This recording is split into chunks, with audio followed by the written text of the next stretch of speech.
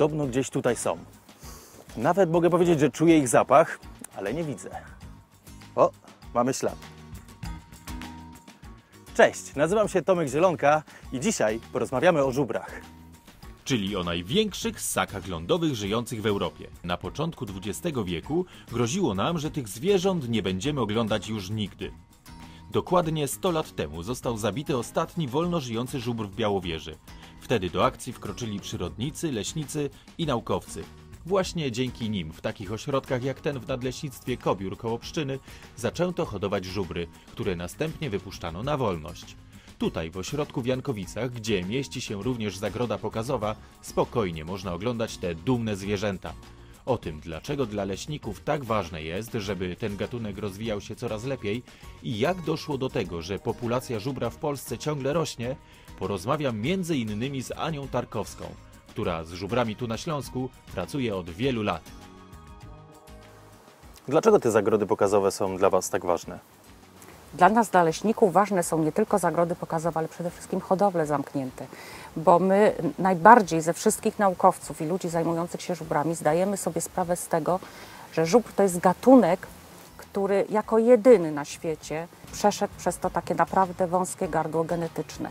Wiemy, że musimy o nie dbać i te hodowle prowadzić, ale też chcemy pokazać społeczeństwu to zwierzę. Przecież to jest największy ssak ży- żyjący w Europie. Przecież to jest symbol polskiej ochrony przyrody. Król lasu. Król lasu, dokładnie, to jest zwierzę leśne. Więc chcemy pokazać wszystkim tą, tą naszą dumę i naszą chlubę. I dlatego otwieramy takie zagrody pokazowe jak ta. W Jankowicach możecie podziwiać te piękne zwierzęta zupełnie za darmo codziennie, za wyjątkiem poniedziałków. Jednak nieco dalej w lesie znajduje się miejsce, gdzie turysta nie ma już wstępu. To rezerwat Żubrowisko. Tam, na ogromnej powierzchni ponad 740 hektarów, prowadzona jest hodowla żubra. To najstarszy tego typu ośrodek na świecie. Liczy sobie już 154 lata. Aniu, co te żubry, co te żubry jedzą w ogóle? Co my tu mamy? My tu mamy mieszankę zbóż z otrębami. Mamy tu pszenicę, jęczmień, owies, otręby. Wszystko jest specjalnie przygotowane, przechowywane wcześniej w silosach po to, żeby też jakiś grzyb się nie dostał do tego pożywienia, czy też inne insekty. Mamy o nasze żubry. Zaczynamy od tego stanowiska. Może one już podchodzą. O, ten jest, Tak, to jest, przekręcimy. poznajesz? Kto to może być? Znasz ich? No, aż tak dobrze tych żubrów nie znam. Ale proszę zobaczyć, one oprócz tego, że jedzą to, co jest w lesie dostępne, bo mamy przecież piękne lato i wydawałoby się, że jest karmy pod dostatkiem, ale jednak są dokarmiane Jak dużo je taki żubr? Taki dorosły, wielki byk. od 45 do 50 kg karmy dziennie. Znaczy mam na myśli tutaj i trawę, i tą suchą karmę, którą im sypiemy. Co, dajemy następnemu, tak? No już czekają wszystkie, nie możemy odpuścić. No gorzej jest zimą, wtedy jeszcze dostają siano w paśnikach. Yy, potrzebują zjadać dosyć dużo dziennie. Dlaczego w ogóle musimy je dokarmiać? Yy, żubry dokarmiane są w zamkniętych hodowlach z bardzo prostej przyczyny. Mają za mały obszar, żeby się wyżywić. No jeżeli policzymy, że jeden dziennie zjada taką ilość suchej karmy, no to musiałby żyć na ogromnym obszarze, żeby przejść i codziennie sobie tej karmy dostarczać tyle, ile trzeba. Czyli bez Waszej pomocy niestety chyba by sobie nie poradziły tutaj w tym miejscu, Na pewno tak? nie. Skoro jedzą żubry, to może i my spróbujemy, jak smakuje. Słuchajcie, jak musli.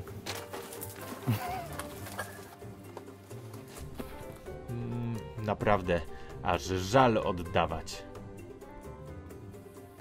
W ośrodku nie tylko karmią żubry, ale również je leczą.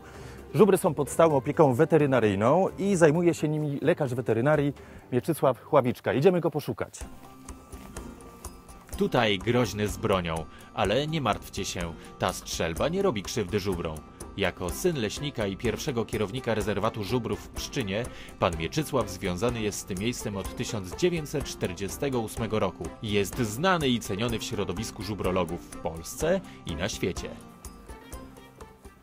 Dzień dobry, y, widział Pan tu może jakiegoś lekarza?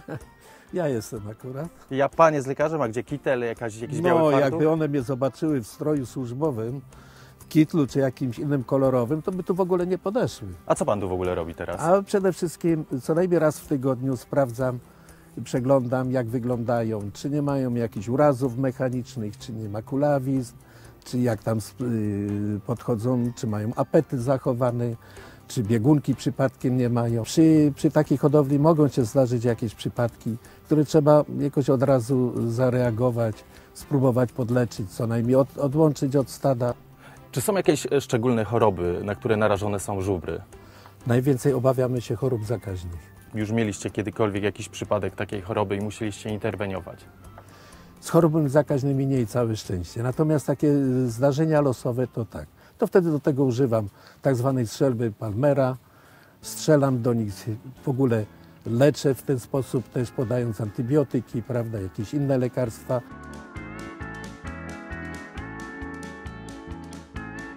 W tym rezerwacie wszystkie już uśpiłem. Raz, dlatego że prowadzimy identyfikację, zakładamy mikrochipy, kolczyki mikrochipy i wtedy ewentualnie wiemy, który jest który, żeby się nam nie pomylił.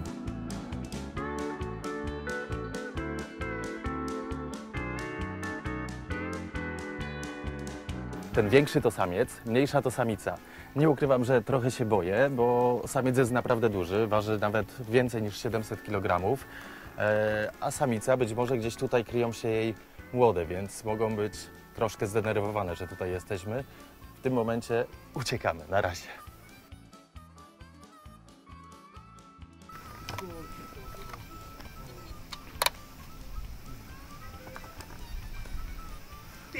Dobrze zrobiliśmy. Zobaczcie. Chłop dba lepiej jak o żonę, a i jego mogły wziąć na rogi. To dzikie zwierzęta i nie ma z nimi żartów. Populacja żubra w Polsce ma się dobrze i ciągle rośnie, ale nie byłoby to możliwe bez takich osób jak mój dzisiejszy gość. A oto profesor Wanda Olech-Piasecka.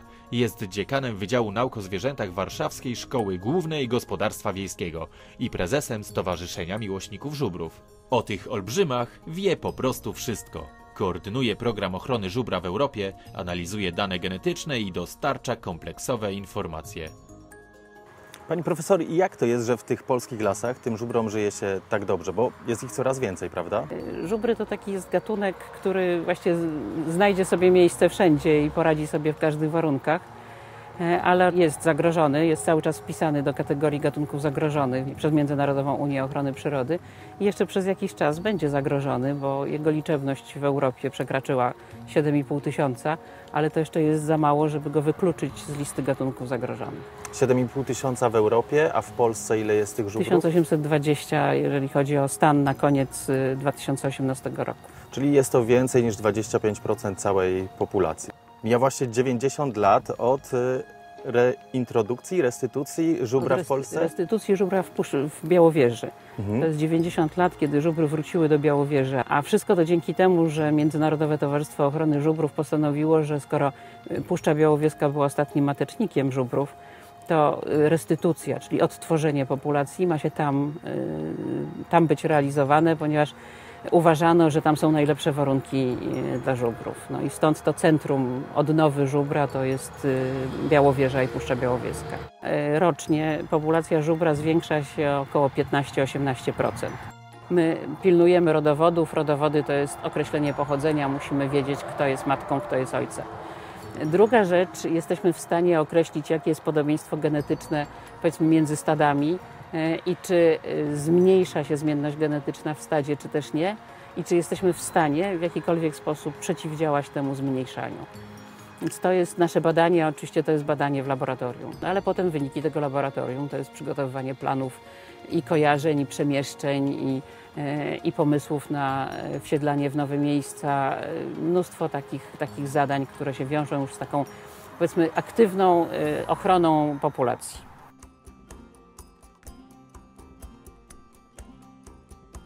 Na 7,5 tysiąca wszystkich żubrów na świecie 1820 żyje w Polsce.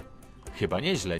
Jak się okazuje, z takich hodowli jak ta w Jankowicach zwierzęta trafiają dalej na wolność w Polsce i na świecie. Niedawno żubry z Polski trafiły do Hiszpanii, Bułgarii i Rumunii. Jest tylko problem z tą genetyką, ale o tym nieco więcej opowie dr Zuzanna Nowak-Życzyńska, która bada i systematyzuje dane o DNA żubrów. Jeżeli jakiś żubr właśnie się urodził, Pani doktor na pewno ma już jego DNA. Pani doktor, czyli tutaj zbieracie próbki wszystkich żubrów z całej Polski? Zbieramy z całej Polski próbki, ale również i spoza Polski. Mamy próbki z całego świata właściwie. Jeżeli można powiedzieć, że żubr ma zasięg światowy, to wszystkie próbki są nasze. Każda osoba, która świadomie utrzymuje żubry albo się nimi opiekuje, wie, że od każdego nowo urodzonego żubra powinna przesłać nam po prostu materiał biologiczny.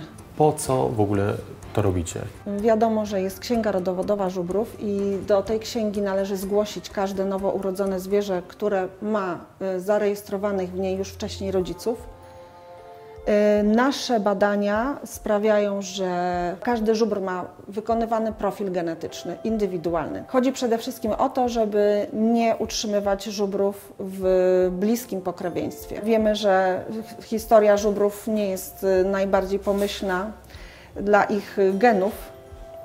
W związku z tym unikamy utrzymywania i e, rozmnażania żubrów w bliskim pokrewieństwie. W momencie, kiedy zwierzę jest transportowane z jednego miejsca do drugiego, pobierana jest od niego krew e, i wtedy taka próbka krwi do nas zostaje dostarczona, pobra, pobiera ją lekarz weterynarii.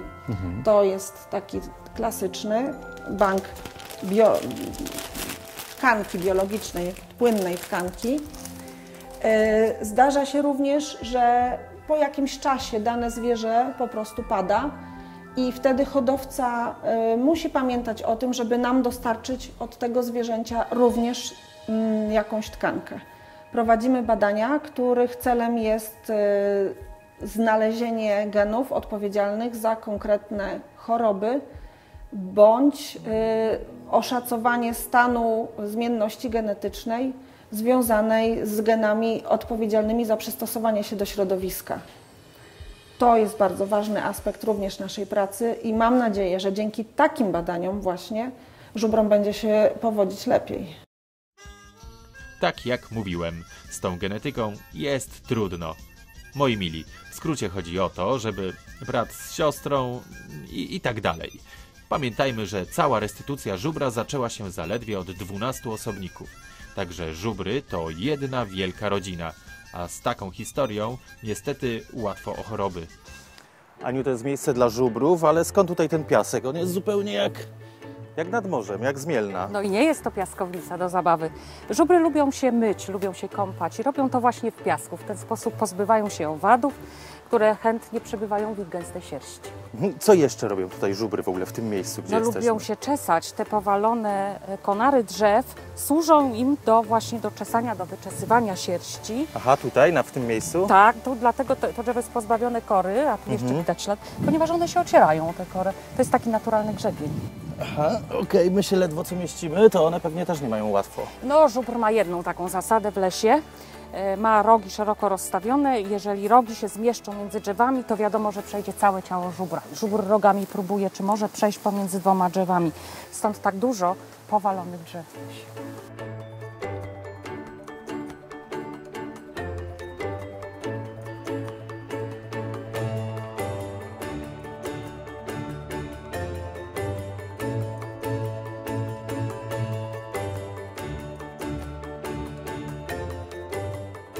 Boimy się o dobrostan tych zwierząt, o to, żeby nie zachorowało, o to, żeby kiedyś nie okazało się, że my nie mamy z czego odtworzyć populacji żubrów, bo one, jak wiemy, no jeszcze nie są w bardzo dobrej kondycji. One są chorowite. Może się zdarzyć taka tragiczna sytuacja, że gdzieś tych żubrów zabraknie, że gdzieś całe stado wymrze i wtedy one są odtwarzane z hodowli.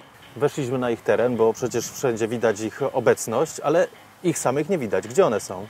No ta zagroda to nie zoo, to- jest 10-hektarowa zagroda. Te żubry w miarę swobodnie mogą się tu przemieszczać. I jako zwierzęta leśne domniemuję, że udały się właśnie do lasu.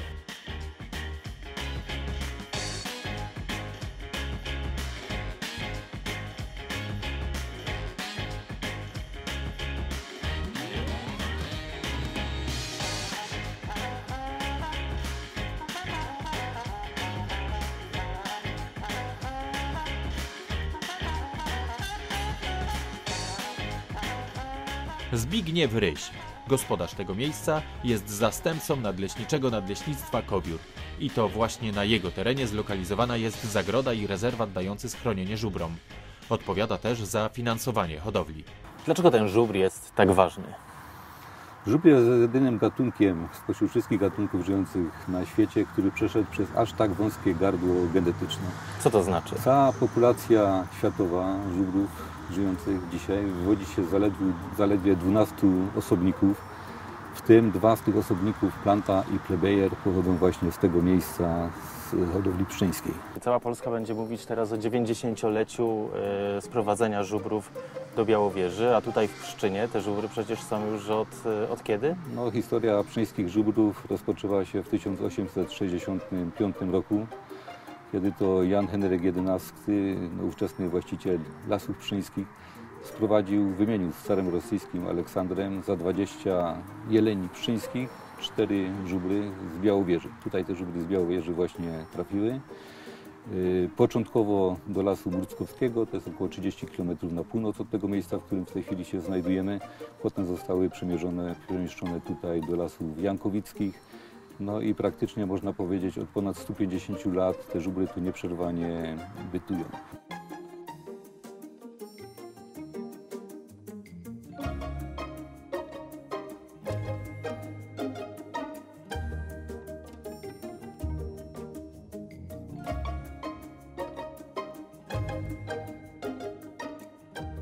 Lasy państwowe przejęły żubrów z Cełskiego Parku Narodowego w 1998 roku, czyli ponad 20 lat temu. Prowadzenie hodowli żubrów wymaga dużego wysiłku organizacyjnego i finansowego. Są to spore, spore pieniądze. Yy, Finansowana hodowla jest głównie z środków Funduszu Leśnego, ale wspomagani jesteśmy środkami yy, Wojewódzkiego Funduszu Ochrony Środowiska, Narodowego Funduszu Ochrony Środowiska i Gospodarki Wodnej, jak również w ostatnich latach również korzystamy ze środków unijnych. Przez 21 lat, kiedy lasy państwowe ponownie opiekują się stadem żubrów, no dosyć dużo zostało tutaj zrobione. Przede wszystkim została odbudowana kompleksowo cała infrastruktura hodowlana, zostały kompleksowo zrekultywowane łąki.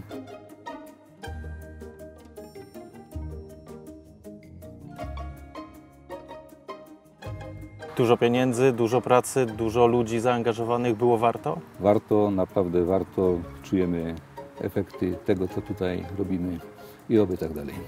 Oby, bo nie wspomnieliśmy Wam, że na te 1820 żubrów żyjących w Polsce aż 1635 żyje w stadach wolnościowych. To znaczy, że wesoło hasa sobie gdzieś w polskich lasach. Nie byłoby to możliwe, gdyby nie pokolenia zapaleńców dbających o te zwierzęta. Choćby w Jankowicach, w nadleśnictwie Kobiór na Górnym Śląsku.